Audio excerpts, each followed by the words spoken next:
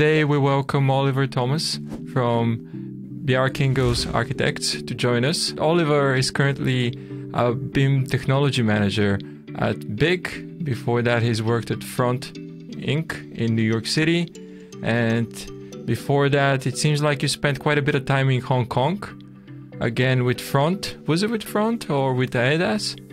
and you're originally yeah. British, so you did your education yeah. in Britain, and then, well, you tell us what happened then. Yeah, well, uh, thanks very much for having me. Uh, excited to continue our conversations, really. Um, so yeah, I'll jump into a little bit of my my background. As you say, I studied in the UK. I went through like your classic uh, UK uh, architecture degree, part one, part two, and eventually part three. Um, but yes, right after I graduated, I spent a little bit of time in London, and then I moved to Hong Kong. I worked there for a number of years as like a design architect at Aedas. You know, typical stuff, design competitions or stage two, stage three kind of stuff. And uh, then, whilst I was in Hong Kong, I joined Front, and I kind of uh, the reason why I joined Front was like I was I was becoming like the grasshopper guy in the team and as a grasshopper guy, you're always like designing the facade. You you always spend a lot of time on the facade. And I got to a point where I was like, it'd be really cool to know how to actually build these things, build the facade, uh, and also use computational tools to do that. And it was at Smart Geometry. I met the guys at Front, and they were like doing exactly that. They were building facades with computation for like you know a host of architects and cool projects. So I was like, uh, it'd be really cool to go there. So I spent a few years at Front, uh, worked on the Zaha Morpheus Hotel, World Trade Center with Rex, Seattle Space Needle, uh, and a bunch of other projects in between, uh, where I really got to sink into the world of BIM and computation, like mostly Rhino and Grasshopper, also a bit of Revit, to actually fabricate things and um, that was my little sidestep into deep BIM and computation to fabricate things. And then I wanted to go back into architecture and came back to the architecture world by joining Big, where I'm now. Uh, I started as a BIM specialist, and now I'm a design technology manager. So I kind of cover everything under the umbrella of design technology, which is BIM, computation, AR, VR. You know, AI is in the mix now, as well as like collaborating as much as we can with with other disciplines like uh, the vi- visualization side of things, workshop. You know what elements interact with them, like augmented reality or or you know real time rendering and things like that. So that's the that's my little elevator pitch. Great. CV. So it you were the grasshopper guy. It's funny that you say that because I felt like I was that person at a point until I had a colleague who was much better than me. Yeah. And then I realized I know nothing and I learned whole loads about him from him. Now he's completely left architecture behind yeah. And doing more programming and development. Oh, yeah. that's exactly how I learned. I was uh, just learning from a couple of the people in the office that were really good and, you know, started to pick it up. It was strange. I, I always thought I had a mind to think computationally. Uh, I, now I understand what that means a little bit more, but I was very kind of I liked the design side, but I also like the logic behind a design. And I thought, well, if, I know if I could just script it, uh, it would be, you know, a way more efficient and b way more interesting. And so yeah, that's why I started to gravitate towards it. And um, I struggled at uni because there wasn't anyone. I went to Liverpool in my masters, and there wasn't anyone really there that that knew it. So I was like just kind of experimenting. And in those early days of Grasshopper, not like in my early days of Grasshopper, when you're learning, you can just get stuck for weeks on like the simplest thing, but someone would be like, well, you shouldn't be flattening that list there. Yeah. and so uh, once I got in practice, I'm, I was then like exposed to p- people that really knew this stuff and could quickly ask them. And that's, that's where my Grasshopper really started to go. And um, yeah. So yeah, I started as a. I was also using a bit of BIM as well, so it's kind of uh, always had that mix of not just pure computation or pure BIM. I always had that mix of like you know a bunch of different design technology aspects. Right. Okay. So you mentioned you worked at Front on some Zaha projects. Is there any particular project that maybe you can talk a little bit more about? Yeah, so I mean, the, the main one I, I worked on was uh, the Morpheus Hotel in Macau. It is a uh, hotel which is kind of like a, it's secretly like a twin tower hotel, and then it's conjoined by these bridges, and then it's just wrapped in this exoskeleton. And so the middle of the building is super freeform. It's almost like, you know, in classic Maya style, these holes are punched through, and you've got like these amazing kind of uh, geometry that, that covers the bridges. And so Front was hired by the contractor that was in the process of like about to build this thing. And one of the most complicated parts of the building is the uh, cladding for the exoskeleton structure. So uh, you have the facade. The facade was all faceted. It's built out of loads of little triangles, right? So none of the glass is actually mm. curved or anything like that. So it is complicated. Uh, but the, the, most complicated part was just cladding this exoskeleton structure because it was, you know, every panel we were we were focused on the all the freeform geometry. So every panel was unique. Uh, most panels are double curved, if not single curved. Uh, there's no one condition that's really the same. Uh, so we had to design a system, a detail that would, you know, basically hold Zaha's surface and turn it into panels and uh, Buro structure, and we had to work out everything in between. And so the only way that we could do that was with computation and BIM. And so uh, we developed a detail. We then came up with scripts that populates this detail on all these different conditions. And then once we have this epic BIM model, we then extract all the information out in the form of uh, fabrication drawings, uh, tabulated data, which just means Excel, you know, an epic Excel of dimensions of things, um, and various like whatever they needed to kind of actually fabricate and stuff. And so we were just purely in Rhino and Grasshopper uh, using Front's uh, plugin called EleFront, which basically gives you the fundamentals of BIM in Rhino using Grasshopper, which was like you can store information in the geometry, sort information via that geometry uh, data, and so you can really quickly turn your Rhino model into a, a quite a powerful BIM uh, model. Uh, so yeah, that was that was the beast that I was working on in uh, yeah, for, for Zaha. Right. Yeah. So I had a look before this call uh, at the i mean everybody probably knows it but i looked at some details and the detailing on the facade is impeccable you know so really good job being on that team to develop that which you don't get a lot of. You know when you work on big projects especially in china the detailing tends to be a bit left behind. But i suppose in this building it was so difficult that, it, that either you get it and you make it right or it just doesn't work at all. Yeah. I mean, it's it's it's really an example of the true promise of BIM.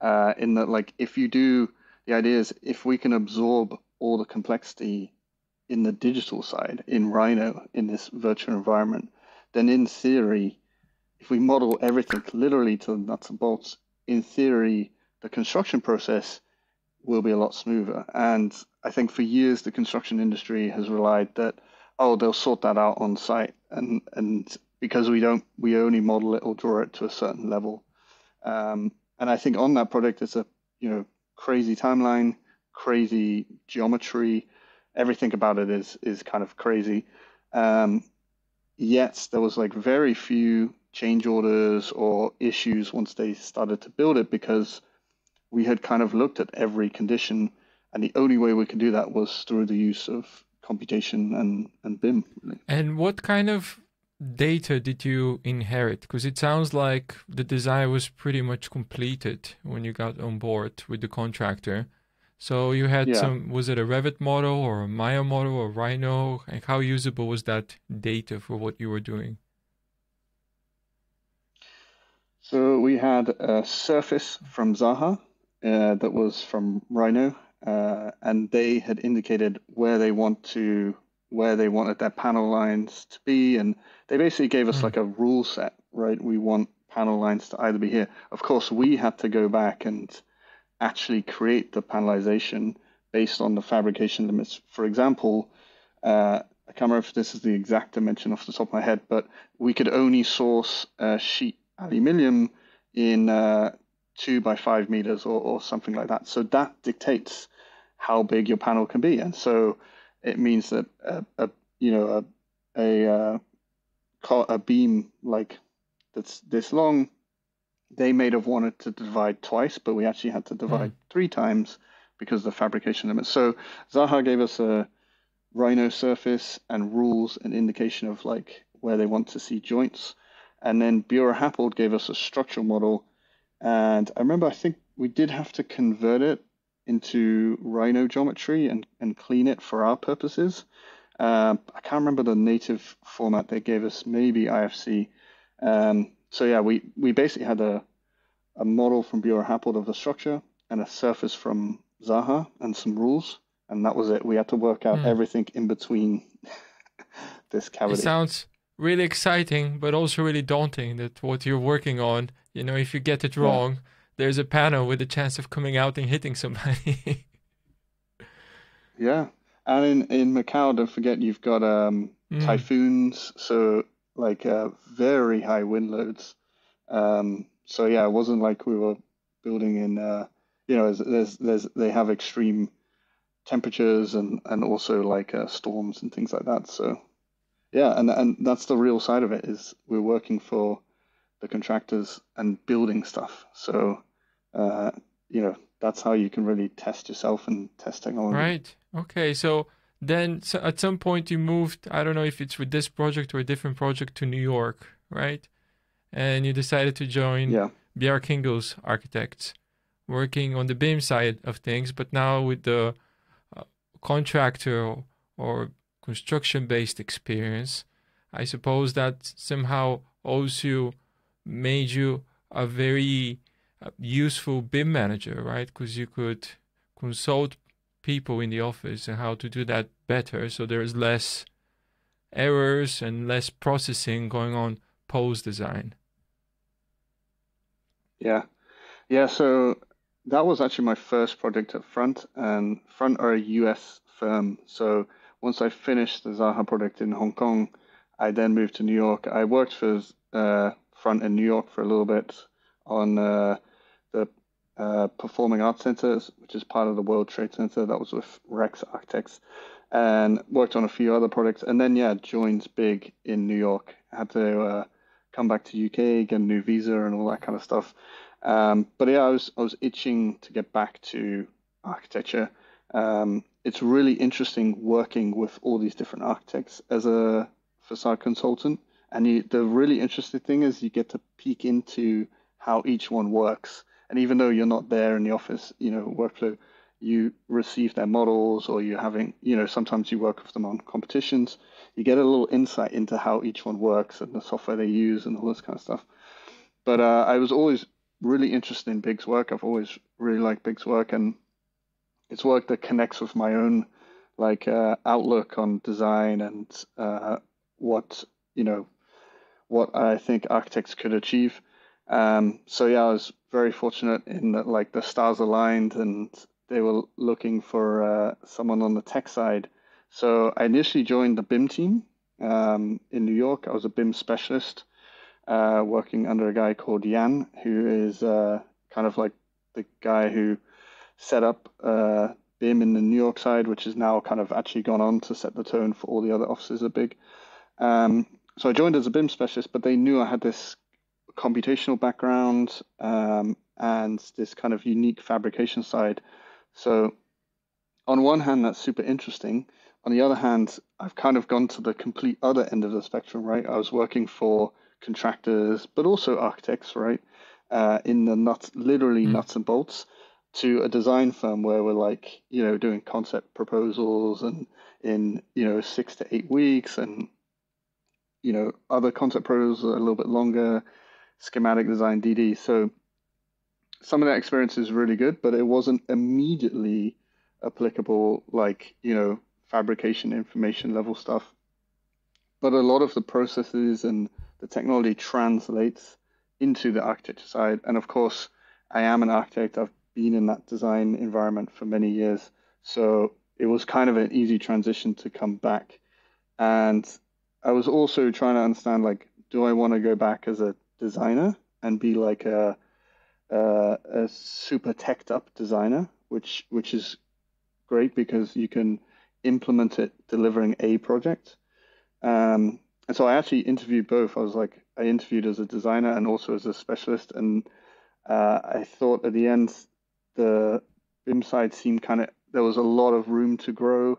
They were also looking for someone with a bit of something else, like not just BIM but computation as well.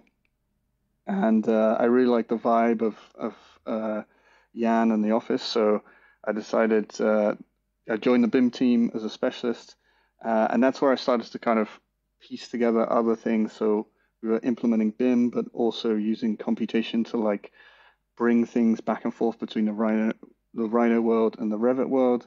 And it was also around that time that Rhino Inside came out. So then uh, we jumped onto Rhino Inside and we were kind of early adopters. And it's something that I now uh, use a lot and teach a lot outside. So you're kind of the Blender guy. I was like the Rhino Inside guy f- for the last few years. Uh, so um, yeah, and, and then it's just kind of expanded from there. I, um, you know, also started to be interested in augmented reality and virtual reality and started to drive that within the office. Uh, so then I was working in BIM, computation, AR, and VR. And, you know, we also kind of evolved the technology team to not just be these separate disciplines of the BIM crew, the computational crew. And we now had profiles like myself that kind of bled between these different areas. And so now we are kind of like a design technology mm-hmm. team with these kind of sub branches of BIM and computation and AR and VR and that kind of stuff. And which you see in a lot of offices, particularly how now the tools are becoming so interlinked and overlapping, right? Game engines are now coming into the world of BIM and, you know, Rhino and Grasshopper is literally inside Revit now. And so all these tools are kind of colliding together. Right. And so, what is your current role? What does that encompass in your day to day activities? Yeah. So my day-to-day activities, it's, it's always hard to know what my day is going to be like. Uh, I, I, remember how that felt. you know, you go Monday and you're sure you're not sure whether you know there's a new competition or you know you have to just yeah, exactly sort something out on the computer in some files so yeah my weeks sometimes like this week is going to be super cool i'll finally get to do my blender course and then you come in and it's the craziest week ever but uh, essentially i have uh, I, I describe myself as like an in-house technology consultant for everyone in the office right so i manage the design technology side of the london office there's a design technology manager of each office. Essentially, we currently have uh, five offices, um, although Shenzhen right now is quite small, but there's London, Copenhagen, New York, and Barcelona. Hmm. I didn't know there's an office in and, Barcelona as um, well. Yeah, yeah, it's, and it's also growing. So London and Barcelona are kind of uh, the the newer kids on the block, and we're kind of in that growth phase. Uh, so London has really grown. So I oversee the deployment of BIM, like all the projects that we have in BIM. It can be real real BIM stuff like BIM execution plans, setting up how we collaborate with consultants and all this kind of stuff. I also oversee the computational side. Um, so, you know, a project could come and they want to uh, uh, help with a script to uh, design a facade or something like that, and I'll either help them develop them themselves or I'll write a script for them so they can use it. And then there's the kind of other areas of augmented reality and virtual reality. So I oversee that. We set up, you know, VR rooms and experimenting with HoloLenses. So, uh, and then uh, more recently, got AI. We're we're kind of launching big. Uh, I, I started to push big AI in the office where we're just getting up to grips with all these new tools. So, on one hand, I'm like on a day-to-day basis, like consulting projects and uh, you know, very much project based and helping the guys out either, you know, with advanced workflows and things like that. And then on the other hand, I have like looking at the office as a whole and trying to elevate Bigster's design technology skill sets. So I host a lot of training, Grasshopper, Revit, Rhino Inside, you know, all those kind of things, but also testing new technologies that we think will uniquely enhance the design process at Big. And so AI is a good example of that. Like all these things going on, let's test them. Let's see if they actually work in our design process. And uh, if they do, then we'll adopt them. And uh, it's kind of like our design process. It's survival of the fittest design mm. technology. Like sometimes I introduce a technology and people are really excited about it, but they just it doesn't get adopted because it's kind of, you know, extra work to make it happen, or or like you know a client's not that interested in it. Other ones I kind of introduce, and before I know it, like every product's using it. So it's quite interesting. It's an interesting environment to see what is working right now. Um, so yeah, I'm kind of on one foot a consultant helping out all the projects and working with the, the project teams, and then on the other hand, overviewing the whole office and and uh, the direction that we want to go in in design technology. It sounds like a pretty big role, a pretty important one on both hands, you know, for production side of things and also for the future side of things. So congratulations in being yeah. there. And how big is your team to manage and how big is the London team? Because I know it has been just growing and growing and growing steadily over the last few years since it opened up. The London office now is, I think, 120 wow. plus people, maybe. Maybe don't quote me on that, but yeah, I think we're around that number. Um, my the DT team here is three people right now. So there's myself. Uh, we have a, you know, more of a BIM specific specialist and a computational specialist, and actually we're probably expanding. We're in the process of expanding at the moment, um, and then globally, you know, different offices have different people. So Copenhagen has a has a few more people on the BIM and computational side. Obviously, that's the headquarter office. Uh, globally, I don't know what our DT number is, um, but we rough, you know, we're we're we're a smaller DT team compared to other firms our size. Um, but that's also because we we try and elevate the designers as much as we can. So, for example, on the BIM side, we are not here building the models for them, and you know they just get a shiny Revit model at, at, at Friday when they need to submit. All the designers who have been in the concept stage are also the designers that are in Revit detailing and all this kind of stuff. So um, yeah, we we're a light crew, but we've all we've all got like specialist little skills, and we very much stay connected globally. So uh, we think globally and act locally. That's great. Yeah, and it, it knowing Big's projects that all look a bit more intense on the design tech side of things than your typical project out there. I would imagine that either you have had a bigger design technology team or perhaps, like you're saying, maybe a lot of the staff actually knows some of those tools, or it sounds also like you, you guys provide training for them within the office. So, what is the competency yeah. of you know Rhino, Grasshopper, Revit, Advanced Revit, you know, adaptive components, Dynamo, these kinds of things? Are there a lot of people that know just a bit, or some that are quite advanced? And then, is there some sort of like uh, internal user group where people can share best practices or experiences from this project and how that can impact the whole office? Yeah, so uh, of course, you know, we're lucky that we get to work with like the designers all super talented. Like I get to work with very, very smart, talented people here. So teaching them is is not usually too hard because they they pick up things quickly. Uh, that being said, you know, there's still a, um, I think Big has been like a grassroots uh, computational firm. Like a lot of designers have a okay level of Grasshopper. Of course, we do have like standout computational leads. They're kind of like, and they typically be project leaders. Like it's, um, it's no coincidence that some of our go-to project leaders are, you know, usually really good at computation at the same time, right? So um, I, I, really recommend designers getting into computation to not only streamline their production side, but also I, I really think it enhances your design time because you can explore more things, automate things so that you can spend more time designing. So we do have some really good like uh, computational designers that are computational.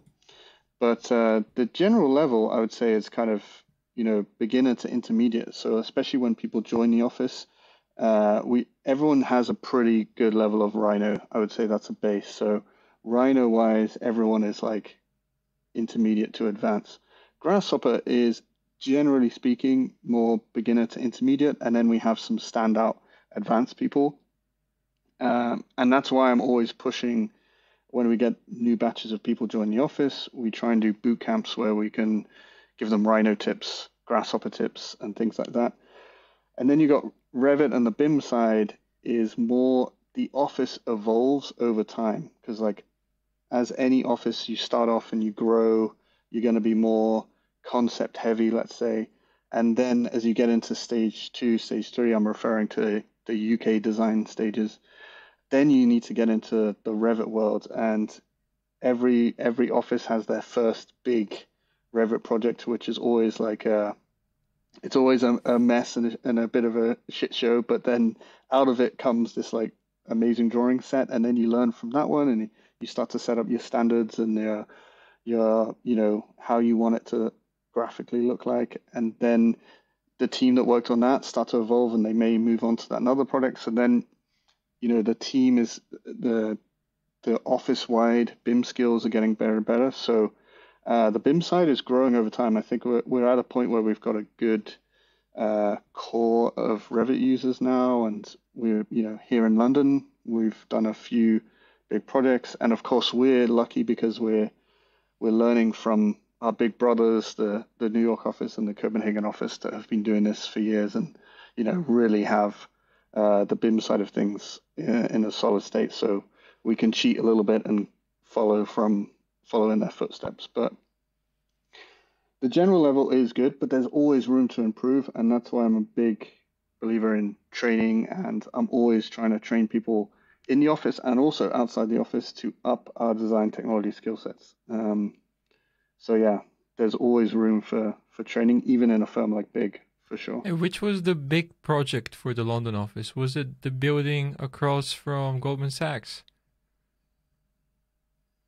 Uh, from Goldman Sachs, we've well, of course, the evolution in this office was uh, this office started because of the Google project. Um, so the Google headquarters in London.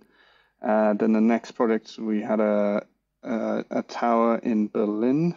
Um, it's called the ETB Tower.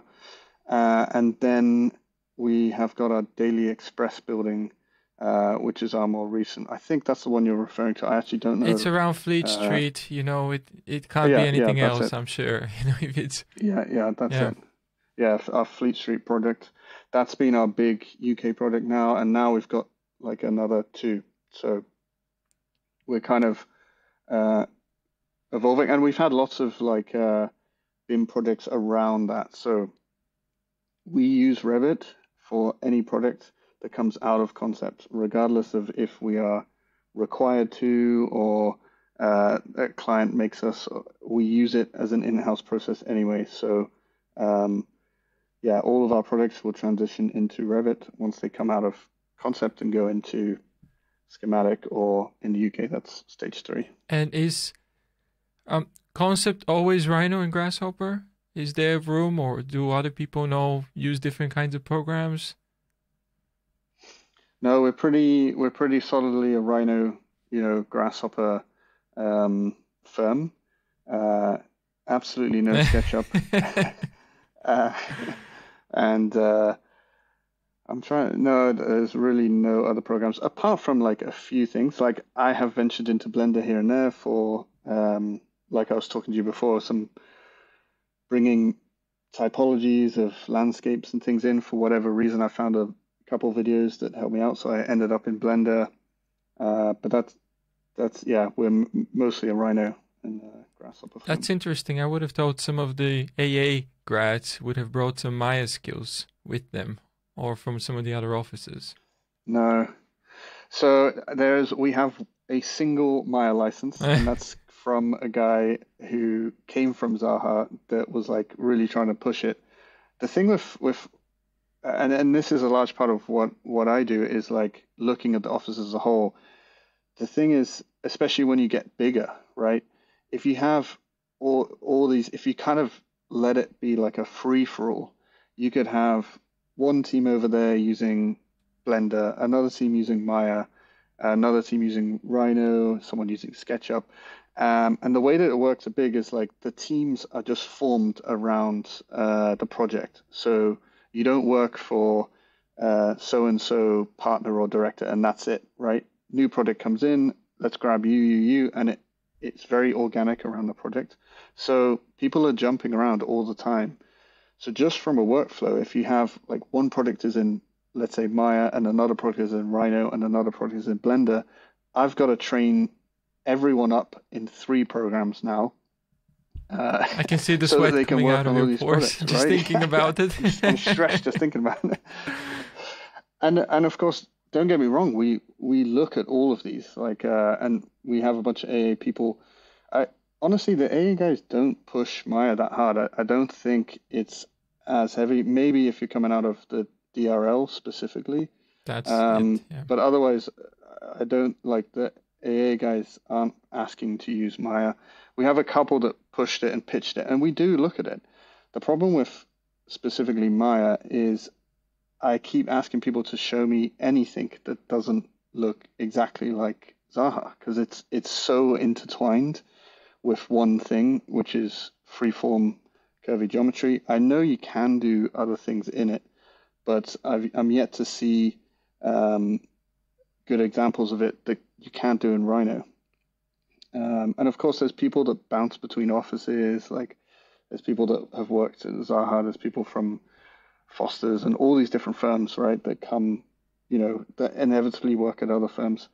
And you, you get some people that you know have come from the Maya world, and they're like, you can do it all in Rhino with with Sub D. And you get the other more purists that are like, oh, you're missing the the exact curve of of Maya and things like that. So we're always testing it, but we've we've got to balance that that world of um, everyone is trained and can bounce between projects, and it's it's also you know think about money wise like um, again not to not to focus on Maya, but like Maya costs like three thousand pounds I think, and it's not included in our licenses for Revit. So now you're you're doubling, you're tripling your license cost, whereas Rhino is a perpetual license. It's I think right now less than a thousand dollars.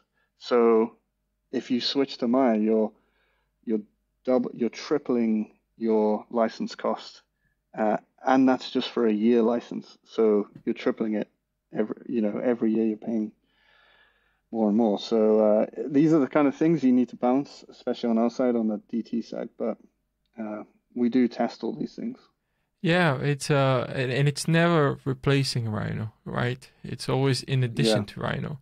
But Rhino is great because, as you said, they're perpetual, and their upgrades are even cheaper, which happen, you know, four or five years yeah. apart.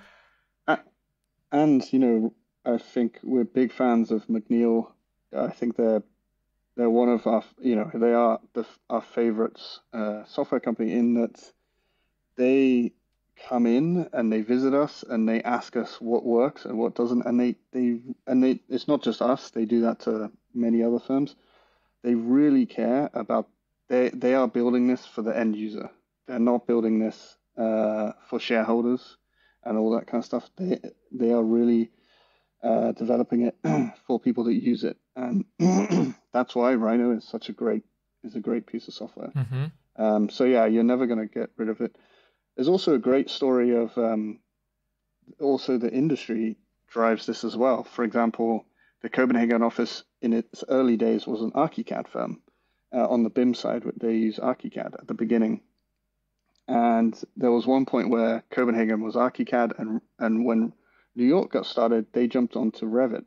And the problem that Copenhagen was always having was they could never get rid of Revit because when they were working on a project that, you know, they were the d- design architects or uh, I don't know, a government project or something like that, they were sometimes made to work in Revit because that was the industry standard. So even when they went down the ArchiCAD road, Revit was always this like kid they could not get rid of. So then you have to have two BIM standards and two BIM protocols, and so sometimes the industry dictates uh, your software as well a, a little bit. And does the Copenhagen office use Revit exclusively now, or do they still use ArchiCAD? Yeah. No, we're we're so about the time I joined in 2018 uh, was about the time they completely switched to uh, Revit. So now we're globally a, a Revit firm. That's a shame. I, I I said from a different perspective. Clearly, you know, from your role, it it would be ideal if just everybody worked in one piece of software that, no matter yeah. where you can pull and grab information.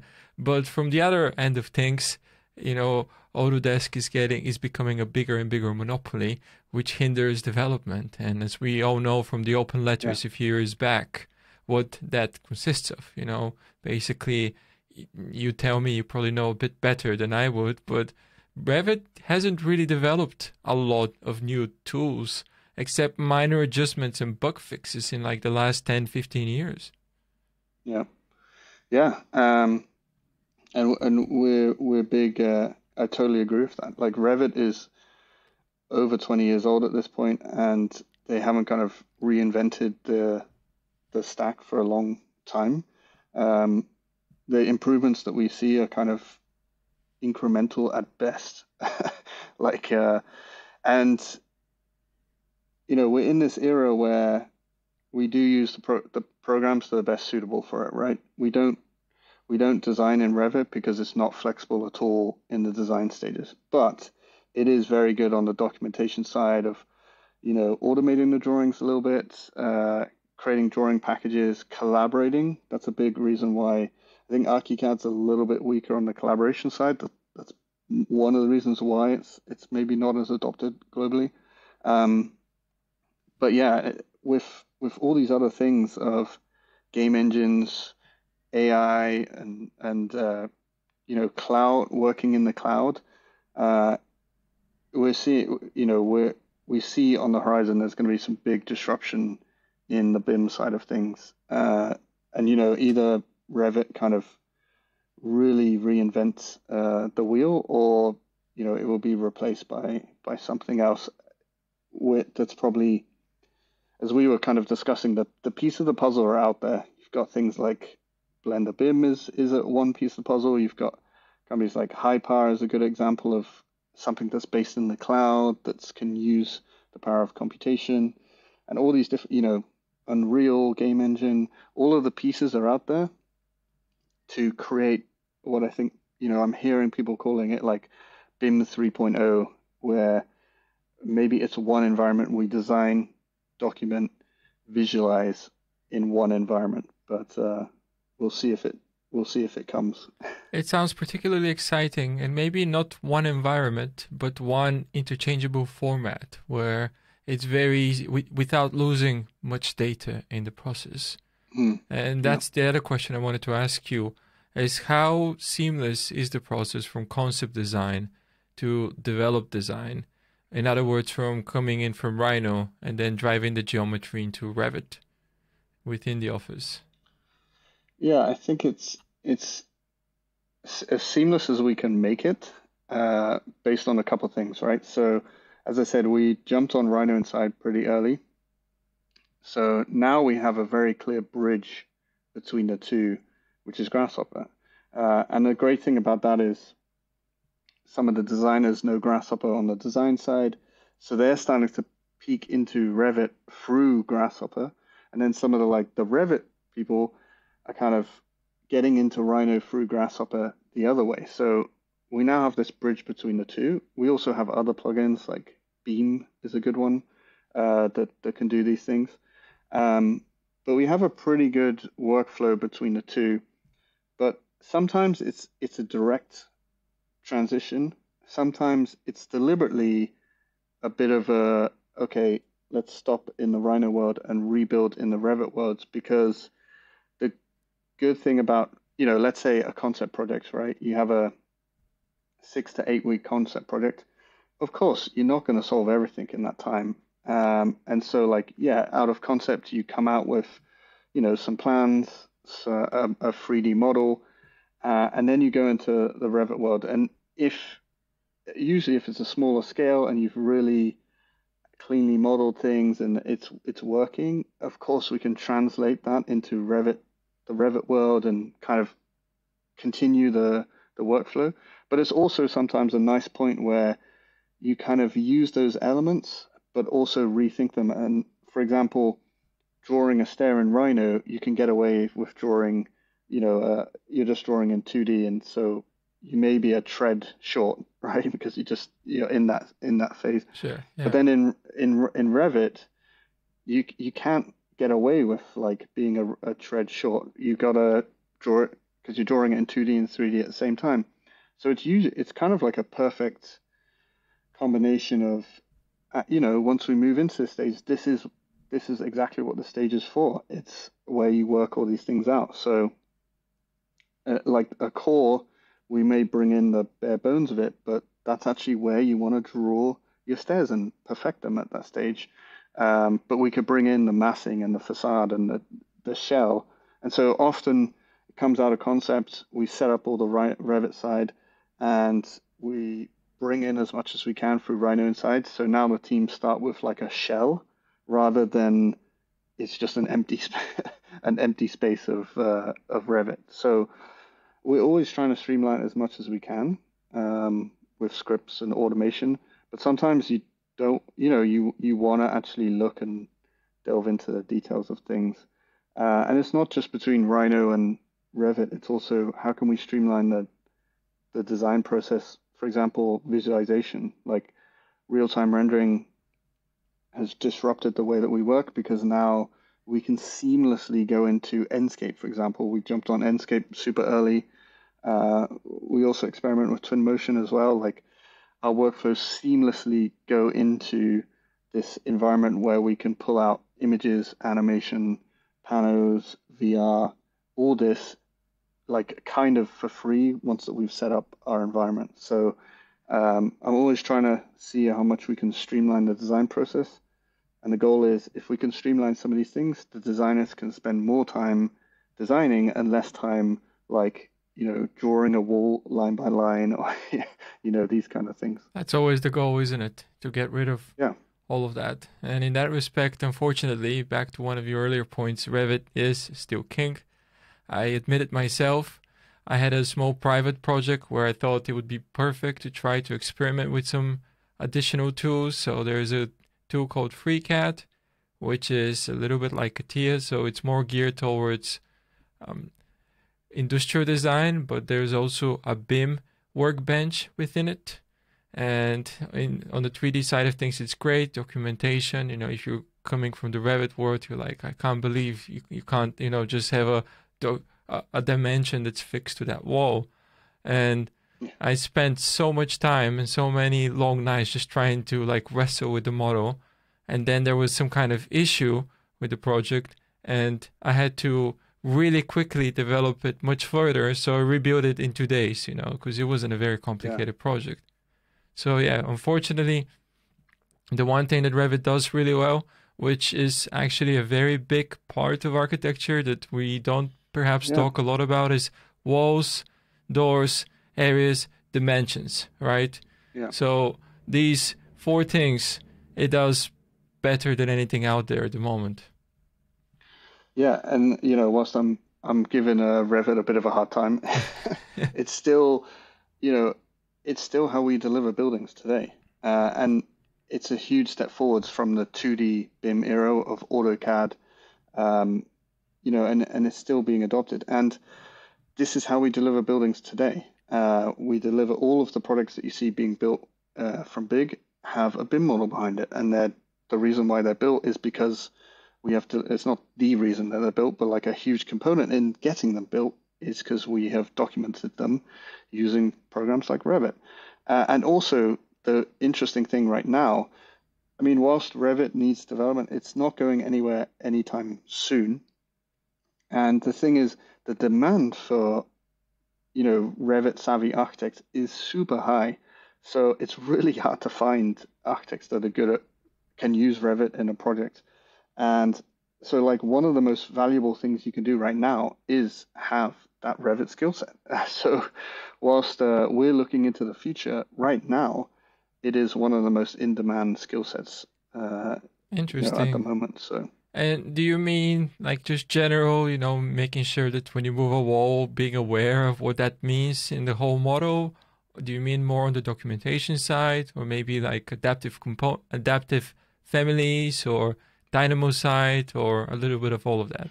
No, it's not even getting into the you know Dynamo and Grasshopper and adaptive components, building your own families. I would say that's at the advanced ends, and that's actually what we help the, the teams the most building. It's we're just talking about like you are a competent architect, but you're also competent at Revit, and you can draw and you can document and you understand how to set up a drawing set and print a drawing set, and you know all these kind okay, of things so to document things. a building. Um, yeah, yeah, yeah, like you're just a BIM savvy architect, right? And it sounds like, oh, surely everyone has that, but you'd be surprised that it's it's also it's hard to find people that have both sides of the coin, right? You mm. have hmm. to be a good designer and a good architect, but also you have that BIM uh, skill set. And if you got BIM and computation, you're you're very valuable. Interesting. Maybe I should think about re-entering the job market in big corporate firms. I mean, yes, especially right now. You know, the there seems to be a big demand for uh, for people like that.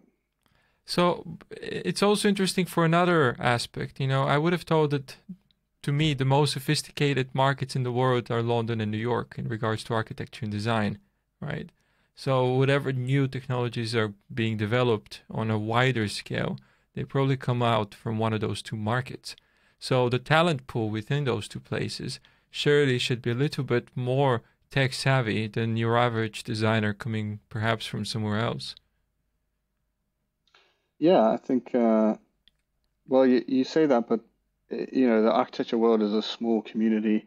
Uh, for example, I bumped into some some Foster's people. They have over a hundred BIM coordinators now in the in the office. So uh, you know they I know they've hired wow. a ton of people. Um, so a lot of people are trying to like uh, when I say that the demand's there, it's it's just the demand is outweighing the supply right now. Um, you know, there are a lot of firms in, in London or New York, um, and I think it's also a component is is like COVID, people you know relocated to different places. Some don't want to come back to the city and and work full time in an office. Um, so you know, I think the whilst yeah we are in a major uh, talent pool, a lot of that talent is is gone elsewhere. And uh, some firms have adapted to working remotely, and some firms have gone back to working full time. So mm. it's just uh, balancing that. I think it's as much like a you know COVID mixed up uh, the this world of of uh, hiring people. In you know, some people changed industries and, and all this kind of stuff, but but yeah, right now I feel like there's a big demand for uh, tech savvy architects. Interesting. So for those tech savvy listeners, it's a probably a good time to start applying to different job yeah. roles. Keep your eye out for uh, some postings from London. I think they'll be uh, we'll be looking to hire potentially soon. Great. So I'm the Blender guy, right? You're the Rhino Inside guy. So yeah. good to know. if we could label one person with one sentence, what would they be? At least professionally. Uh, yeah. So I have to ask this, right? So if a, designer comes into the office in, and they are quite competent in Blender, would you kind of allow them or rather restrict them to develop something in Blender that they could, you know, potentially then import into Rhino and then Revit and whatever? Like, yeah. is that discouraged, or is there a place for people that can bring their own skill set somewhere else that are, you know, may, it's not in the masses, right? And they're not doing a whole building, let's say, but they're looking perhaps at a part of something. So is there a place for people like that? For sure, yeah. That's I I never want to be like the tech police in the office and be like, "Oh my god, you're using uninstall that now," right? Because because that's also how we learn as well. Like, um, you know, we had a couple of people come in and and a few years ago we looked at Enscape versus Twinmotion. We went down the Enscape road, but then some people came recently and they they're really good at Twinmotion. So we were like, okay, let's let's have a look at it. And they used it on a project that it really suited Twinmotion, and so um, now it means that we're looking at it more seriously. So well, that I'm problem always... is a bit solved with your next contract renewal at the office because Twinmotion is now part of the Autodesk pack. Yeah, yeah. So on one hand, that that's a good thing, uh, but now people want a license for Twinmotion, so they get a license for Revit as well. as well. So uh, true. It's kind of double-edged like sword. That's the real world problem. Yeah.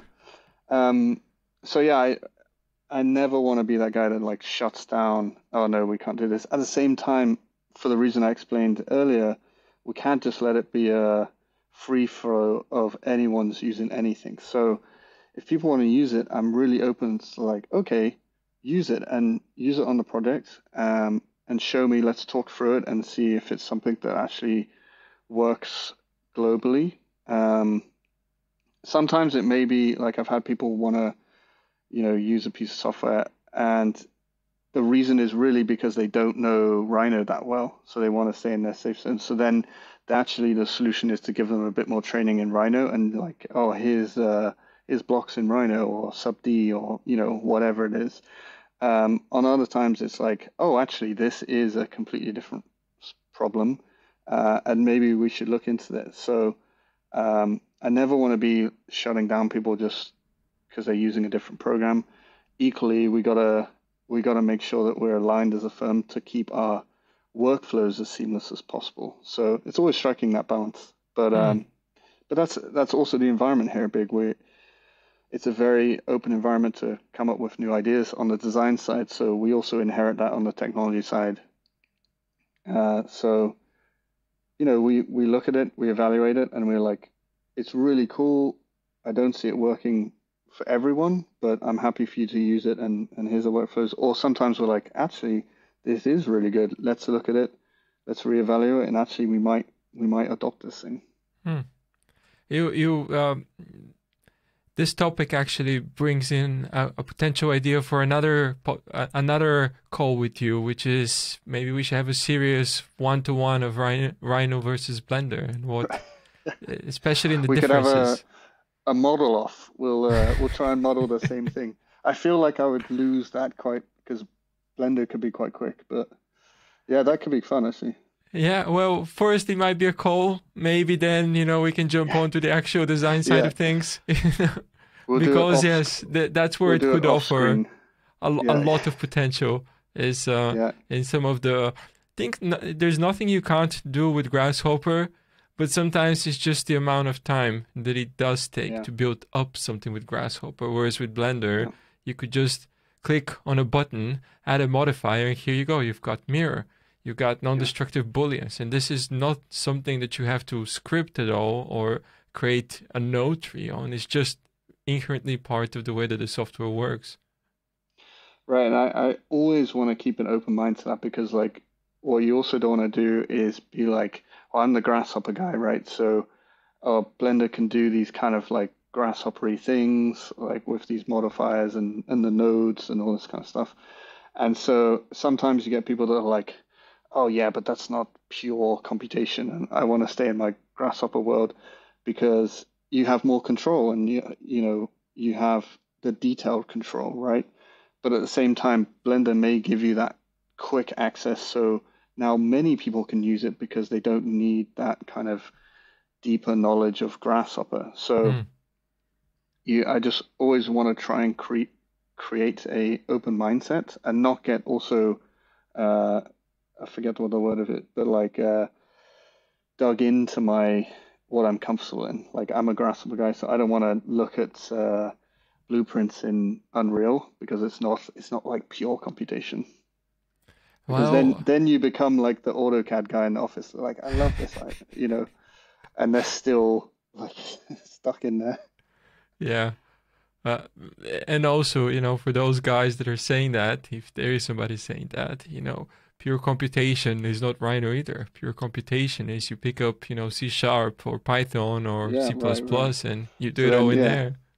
The co- the coders are looking down on the Grasshopper guys, and then they're looking down on the the uh, modify crew, and then you got AI turning up and just blowing everyone. totally stealing the party. yeah. yeah. yeah. Cool. So besides Big, you also have you, you you're quite involved with doing your own podcasts, right? And your own courses. Can you talk a little bit more about that? Yeah, so um, I've definitely always been interested in teaching at some point, and uh, I thought of a few different, you know, because I've been teaching in house at various different places for a little while, and uh, I thought, you know, what's the best way that I can impact as many people as possible? And so, you know, I could go and work for a university and I can maybe have like, I don't know, 20, 30, 40, 50 students, however many students you could fit in a room or online. But I thought, well, it, it takes the same amount of effort to c- come up with a syllabus and teach and, and do these things to do it for one uh, class of people or one university where only 20, 30, or 100 people can be exposed to it. Whereas I could teach online and potentially thousands of people could uh, could access it, and people from all different parts of the world, which excites me the most. And so it was. I've always been thinking about this, and then of course during COVID, Clubhouse came out, and uh, I thought this could be a really good way just to start things off and we started and founded uh, Architech Network by just having a weekly podcast on Clubhouse. And uh, we just ha- were having conversations about architecture and technology.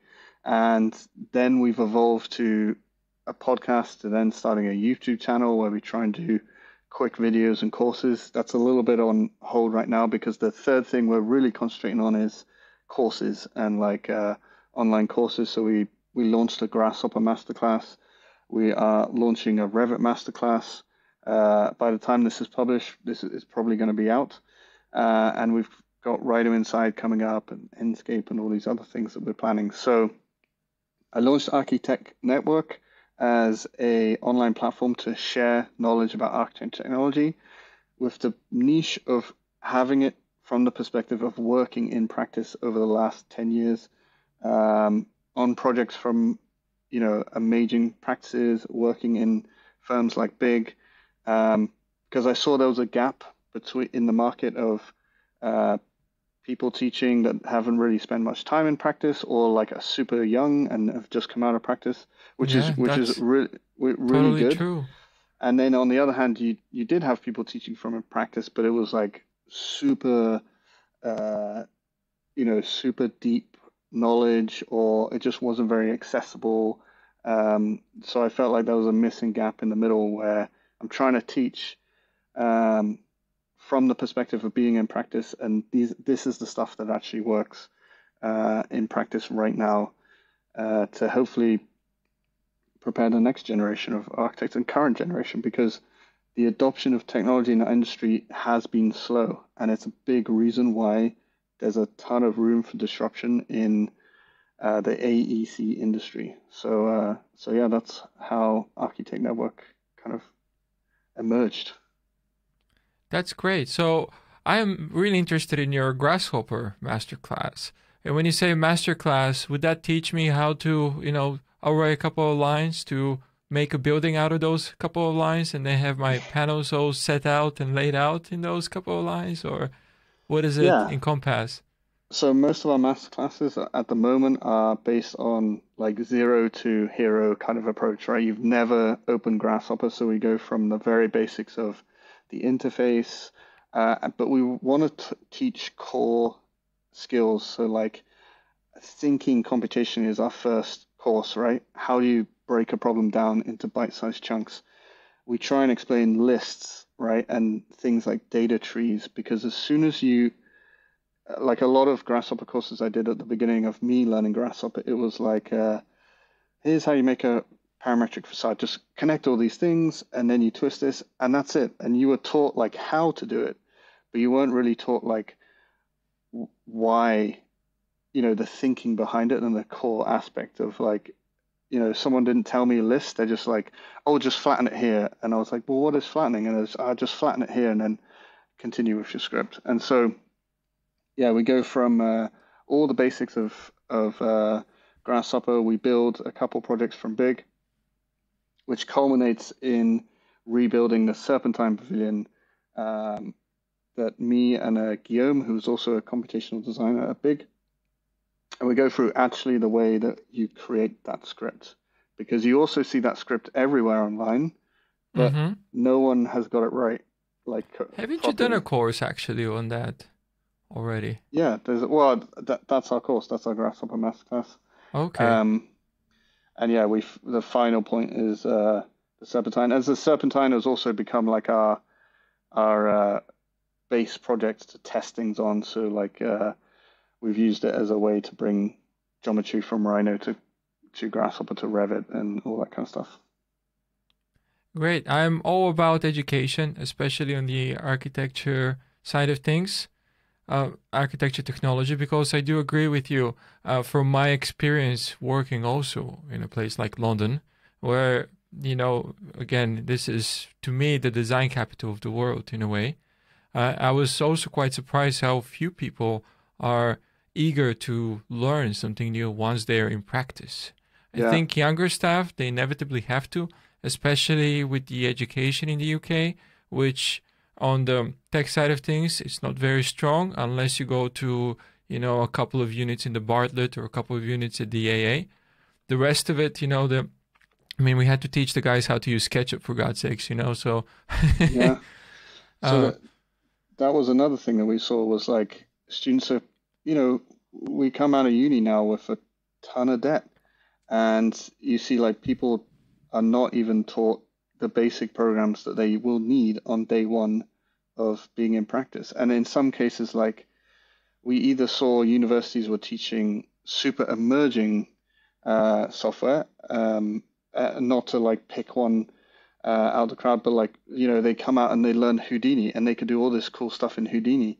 But then if they come into architecture, architecture practice, it's just, you know, I can't use that right now. So, like, mm. you know, and then on the other hand, you'd get the other end of the spectrum where, for whatever reason, the professor or the dean of the school loves uh, ArchiCAD. So everyone learns, learns ArchiCAD, which is also great. But the reality is maybe 90% of firms use use Revit. So there was always this gap. And or a, a lot of time we talk to, I talk to students all the time and I'm like, are you taught programs, and it's it's almost expected that you teach yourself the programs, and we just focus on design. So we also saw there was a massive gap in university uh, to learn technology, um, and so that's another reason why we started Architech Network, and it's another reason why we try and make the courses as accessible and as affordable as possible, so as many people can access them. Uh, for example, our Grasshopper Masterclass was live; it was free live on YouTube. Um, and we had 600 people sign up and view the course over time. And um, they were from everywhere in the world. Like the most amazing thing, we had people from over 80 countries. And so Wonderful. it gets especially interesting when you think of emerging uh, parts of the world, like, uh, you know, Africa is going to be a huge part of uh, the next boom in construction. India have like, uh, I think recently they surpassed China for the, their population, and so it's a growing country that's going to be building a lot. And so, of course, over there, the next generation of architects need to be teched up to to build sustainably and and affordably. At scale, right? The kind of scale, scale, that's right? required so, to house so, all those people. Exactly. So by teaching online, they can gain knowledge from people like myself uh, at a really affordable rate or sometimes for free. So um, so yeah, that's that's a big goal of like how we want to kind of spread the word of ATN and not only teach like in London and uh, New York and you know these big cities. Fantastic! It's about having the most amount of impact. Exactly. And, yeah. uh, on I, we definitely agree there because I also do online courses uh, with the same sort of mentality. You know, is give people access to these tools, show it from you know some of the best profession professionals in the world, how it's being used in some of the best companies in the world, and show them that it is possible and accessible. Now, entertain me for a bit. So, if we imagine the ideal candidate, you know, part two, so recent grad candidate that comes into the office, what would the skills that they would ideally have is? Would, would it be more on the design side of things? Would it be more on the software side of things? Or would it be maybe not so recent graduate who has uh, architectural technical knowledge as well? Yeah, so um, I think first and foremost, you, you got to be a, a good designer, right, and have that design component and that design skill set. Then, you know, we're, not looking for people that have every software under the sun and are advanced. And of course, on everyone's CV, they are like the, uh, you know, like a Revit ninja and a all this kind of stuff. And uh, in reality, they've like done a an hour's course at university or something like that. Um, I, I, I actually did a video on uh, YouTube where I go through uh, the skill sets, an architect skill set, and at the end of it, I kind mm. of go through what I would expect you to know. So I think at university, like you really want the the core foundation of communicating as an architect, which means you need to have a modeling uh, software that you're good at, Rhino, SketchUp, Blender, whatever it is. Uh, you need to have be able to communicate that. So have some kind of Viz skill set. So you know, Enscape, V-Ray, Twinmotion, whatever that is, um, and if, as well as the the you know what I say are the classics like the graphic side, Photoshop, Illustrator, InDesign. Although I feel that is is kind of a you know most people know that. So a minimum you need a kind of like uh, modeling and viz skill set uh, as well as graphics and then I, I suggest people to like pursue something that you're interested in and really go for it so the one thing you can come out of university with that uh, you can't gain experience you can't you know you can't cheat that um, but the one thing you can do is you could become like you can have a little what i call superpower in viz. So like, let's say you're amazing at visualization. That's like a really cool thing to see coming out of university, or you, you have jumped into Grasshopper or something like that. So I think you, you need, specifically if you come to BIG, of course, Rhino is a big one. You you need to be pretty solid at Rhino. You need to have a good visualization skill set and graphic skill set, which is why your portfolio is quite important because it shows how you can do that. And then you know, if you do have, I think that's that would be great. And then if you do have other things like a BIM component or a computational component or AR, VR, that's a really amazing thing, but it's a nice to have, but it, it could make you stand out from the crowd as well. So, you know, I don't expect fresh guys to come out and they're like, you know, experts in BIM and, you know, grasshopper legends and things like that. Of course, we're going to build up skill sets, but that what I would say is the foundation, right? You need to be able to model pretty well, communicate graphically and, and in the Viz world. Well, your expectations are definitely higher than what my experience has showed me. Yeah. Especially getting part part ones or part twos in the office when I used to work at a HOK. Uh, yeah. The skills were all over the place, but nowhere near a level that uh, was suitable for office work which in some ways I would respect if those people at least knew the theoretical elements of the design, of general design, but there was also a gap with that. So I wasn't sure what they were studying because I did my studies in the US, so I'm not quite familiar with part ones and yeah. part twos in the UK. Yeah, I mean, it's, it's always, it can really vary, right? It's like what university you come from. Uh, are they super into the tech side of things? Where in the world they studied? Like it can really vary. And even let's say just within the UK, it's super varied. Like like I said, some universities teach all that stuff and some don't. So um, yeah, it's always it's always a mixed bag, but those I think are the key components that you need. And looking back at it now as we are talking, I'm just thinking about the people that I know that are quite good at Grasshopper. You know, a few of them had had, had courses, units at University of Westminster where they were taught Grasshopper, but most of them learned on their own, at work, at university, maybe during both, and they sort of picked up those skills at a level that actually makes a difference in their daytime jobs. Yeah, it's um, of course it's like you want to explore in your own time as well, you know, and that's where like picking up online courses is a great way to start. But of course, the people Definitely. that pick it up is the ones that like tinker with it and try and implement it on something that they're doing. That's you know the best way to learn is to to to just do it on a project, right? Uh, of course, you can just yeah. do that from scratch. So it's usually like uh, get an online course, learn the basics, learn the fundamentals well, and then you got to keep using it to to really pick it up. 10 years ago, is it 10? Yeah, about 10 years ago when I was learning Grasshopper, I was working on a theater while I was at Agile Associates. And back then, I don't think there were many online courses. Uh, yeah. no, nor because the office is fairly small, uh, there weren't that many competent Grasshopper users in the office. But yeah. I knew with the amount of changes that we had to produce in regards to the outer shape and how the theater needs to kind of be completely reconfigured, the only way to do that and not lose my mind was with the script. I still lost my mind because, you know, I spent countless weekends and long nights trying to sort it out. And I really wish back then, you know, that there were the sources that we have today with the numerous platforms that teach those fundamental skills, including your courses? Yeah, I think um, especially online now, you've got a lot of choices, right? Especially with YouTube.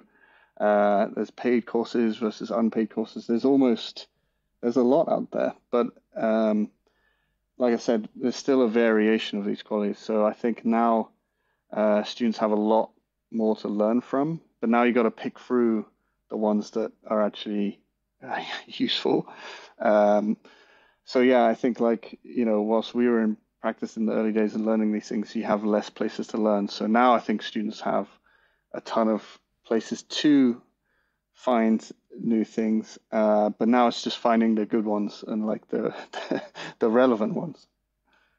Yeah, definitely. Um, right. Okay. So I think we're coming to a close here. I'm just looking at the clock, and time seems to be flowing by yeah. when you're having fun talking. But I wanted to ask you a question that you asked me yesterday, right? And I think it's a great question to ask. And that is what are you're the most excited about in regards to architecture and technology coming up.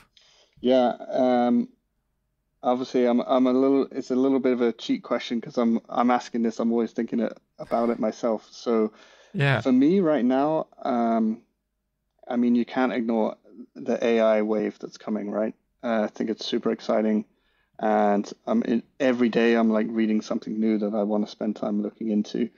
Uh, so AI is definitely one, and the other one is the kind of uh, the emergence of game engines in our industry. I'm particularly excited about Unreal Five right now.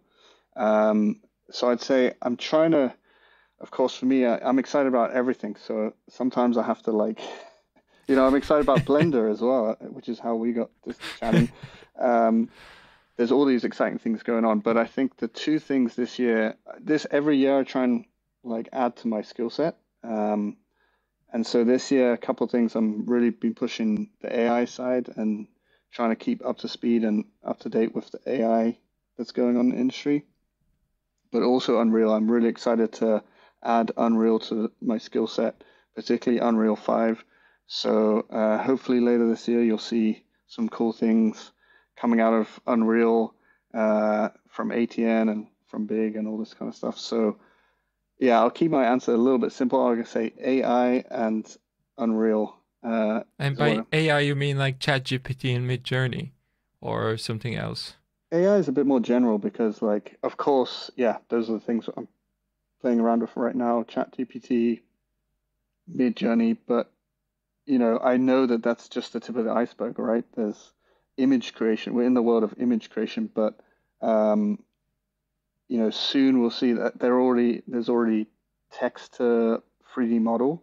There's already text to BIM. If you go and check out Hypar's latest uh, videos from Andrew uh, Heumann, um, so right. I'll have to check that out. It's all it's all like emerging. So uh, I'm I'm playing around with Midjourney a lot and trying to like perfect it as you know as a design component with myself and trying creating things and just having fun. Uh, but of course, I'm also looking at like how is this going to transition to the AEC space. Like, don't forget that all this image creation stuff is just AI that's got a general intelligence, right? In the, it's not general intelligence, the technical term, but uh, it hasn't tr- been trained to be an architect yet, and that's going to be kind of mind blowing in itself. So, I think with the AI side, it's more broad and just keeping up to speed with what's going on. That's the challenge mm. right now because it's and uh, like what is actually uh, useful versus what's kind of like a red herring.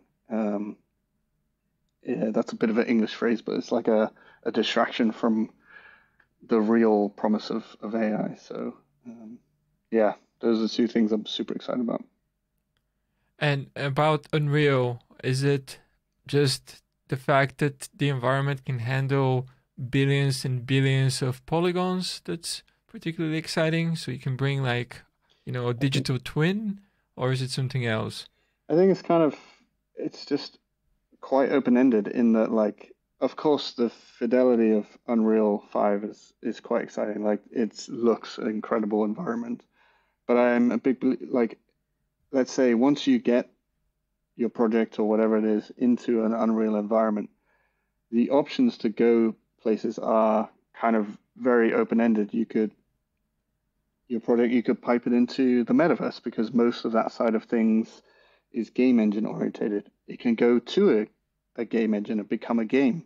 Uh, you then got AR, VR that you could use out of it. Um, it could be a digital twin to use another buzzword, uh, but it, you could also just use it for your images, animation, and storytelling, right? So I think once you spend time developing an Unreal scene, there's so many, so much potential to go out in different directions. So I think it's just the open endedness. And of course, yeah, the quality looks super good. So uh, yeah, it's, it's not one specific thing. I'm just, uh, it just seems to be very powerful. And do you, is Unreal being used in one form or another in the office? Yeah, slowly we're starting to tinker with it. Um, and develop a skill set in it, but uh, we're still in early stages. So there's some products we've been in there and and uh, try to create something for a project. Um, but yeah, we're we're kind of developing that skill set now.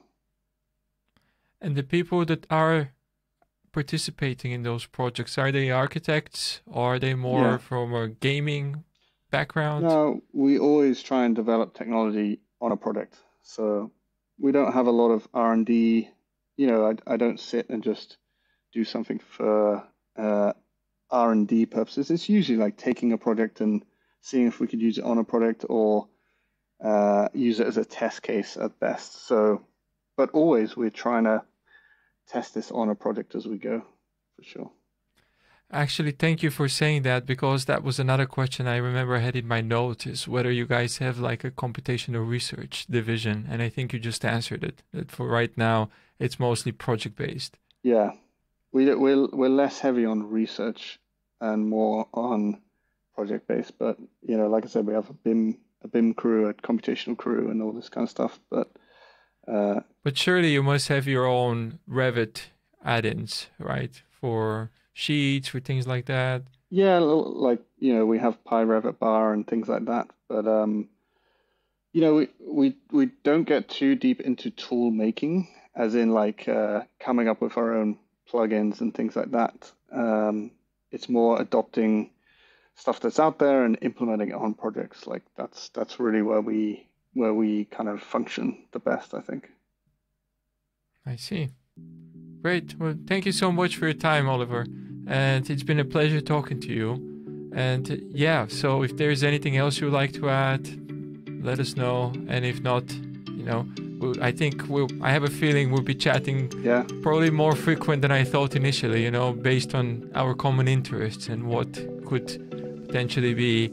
Uh, yeah, I'm really excited for potential Rhino versus Blender. Yeah, yeah. You know, battle. Yeah, that for sure. Let's do it. In our sword suits. Yeah, no, thank you so much for uh, for having me. Um, of course, if you want to check out ATN, you can check us out on YouTube or uh, archi.tech on the web or on Instagram.